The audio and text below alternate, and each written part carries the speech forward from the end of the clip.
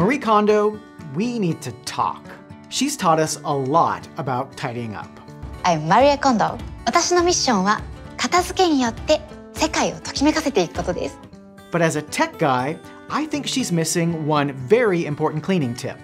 The life-changing magic of not throwing things away and keeping them in the cloud.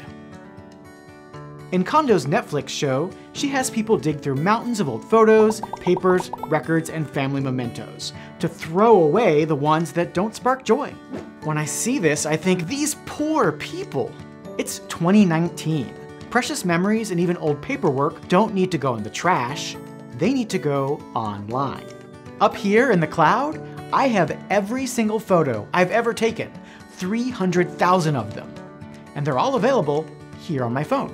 Nowadays, you can be a digital maximalist and still tidy up, thanks to Apple iCloud, Google Photos, Microsoft OneDrive, Adobe Creative Cloud, and others. I asked Kondo what she thinks of my view. She said, tidying up is not about accommodating the size of the space you have available. It's about choosing what to keep because it sparks joy. Just because the cloud has endless space available doesn't mean you have to fill it. I think that's true, but the cloud can also make it easier to part with sentimental items, and even to get more enjoyment out of them. So I've got an internet update to the KonMari method. Call it the Kon Geoffrey method. Step 1. Thank your phone and laptop for their service. Okay, you don't actually have to do this. There's a monthly fee for most cloud storage, but $1 a month for 50 gigabytes will seem like a fantastic deal once you do it. Any big name cloud provider can do the job of storing your stuff and making it available on your phone, tablet, laptop, even TV. Google's is less expensive and does the best job at sorting. Apple's is built into its devices and puts an emphasis on privacy. Adobe's Lightroom is pricey, but amazing for people who edit photos. Okay, now you've got to get your stuff up into the cloud. Or is it that way? Or that way? If you've got an iPhone, iCloud Photos will automatically upload a copy of everything you snap. Or Google Photos will do that on an iPhone or Android phone. Bonus, your phone will no longer complain about running out of storage. The apps manage what to remove from your device in the background.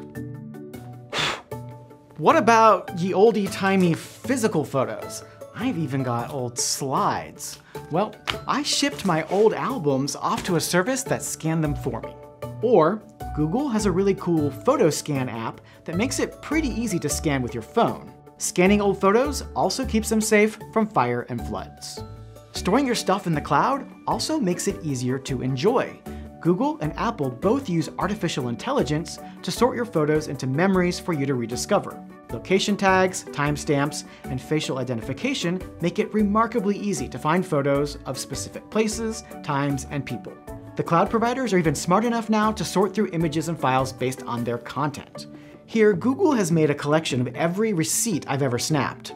Now I'm gonna ask it for photos of goats. Looks like I've met a lot of goats. One other important point.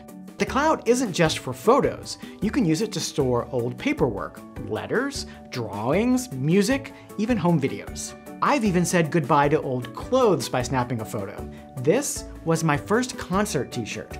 Ah, En Vogue.